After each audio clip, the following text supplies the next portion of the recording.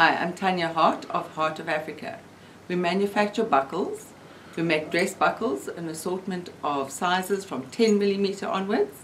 We also manufacture big boy buckles, an assortment of sizes and designs. Take a look at our range on our website, which is below.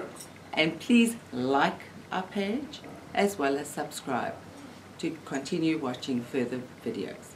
Thank you.